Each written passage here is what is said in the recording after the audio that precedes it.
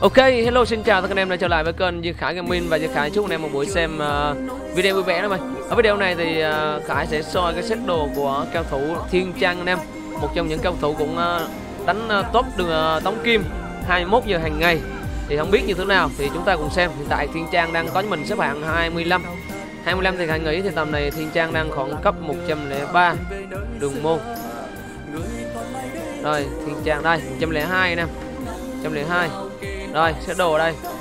Một cái nỏ sát thương 43 sát thương 43 dòng 1 kháng độc 25 nó khá là ok. Một cái chiền kháng banh 13 kháng tất cả 10 ờ, kháng tất cả 13 kháng banh 11 áo kháng banh, phục hồi. Áo hai dòng anh em hai dòng là kích được vũ khí và kích cả kháng độc. Tiếp tục đó là một cái nón phòng thủ 17 sinh lực nỗ lực dòng 1 tiếp tục đó là một đai lưng phòng thủ 19 Tiếp tục là một bao tay 530 Nhận kháng hỏa Và đi kèm với giày kháng hỏa. Đó, nhận hỏa giày kháng hỏa. Và một à, nhẫn 530 Và người bò 530 Thì tính sơ qua thì set đồ này đạt mốc 590 năm Set đồ này đạt mốc 590 Khải phù qua Thứ Yên rồi cả cho anh em xem tiếp tục. Set đồ này đạt mốc 590 nha anh em. Yên hiệu trái 66 78 đây, tiếp tục. Đây, bao tay này. 30 sinh lực lực cao, khá ok. Nhẫn, nỗ lực cao 530 và ngập bội sinh lực.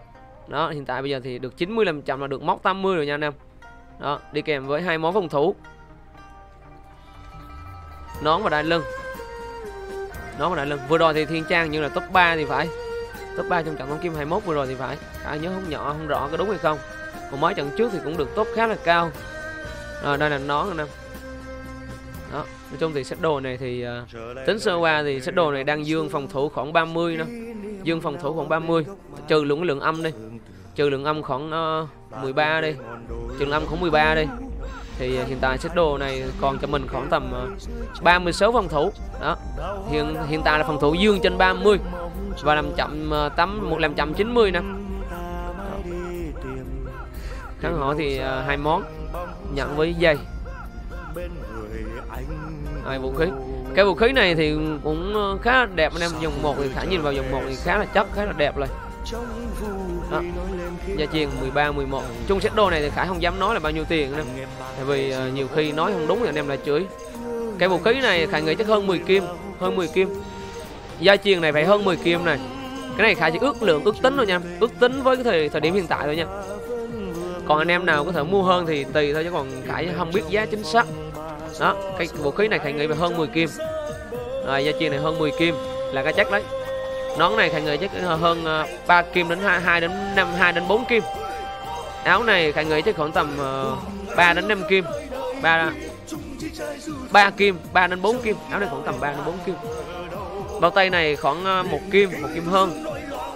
Nhẫn này khoảng uh, 1 kim rưỡi đến 2 kim một kim là 70 nghìn nha em một kim là 70 nghìn nha em giày này tóc 20 sản phẩm 19 giày này khả nghĩ chắc khoảng tầm uh, một kim hơn nè một kim hơn. Đai lưng này khả nghĩ chắc khoảng hai kim trở lên hai kim trở lên đến 4 kim 5 kim. Nhẫn này khoảng uh, chắc ờ, uh, 500 xu đến một kim. Ngọc bội này khoảng uh, 500 xu đến một kim. Đó vậy thôi nè. Tính ra set đồ này cũng uh, vị trí khoảng tầm uh, gần 30 kim. Gần 30 kim khoảng 2 triệu nè set đồ này khoảng tầm 2 triệu. Đó. Set đồ này khoảng tầm 2 triệu. Rồi anh em xem video này thì đừng quên cho Thiên Trang cũng như Duy Khải một like và chia sẻ video nha anh em.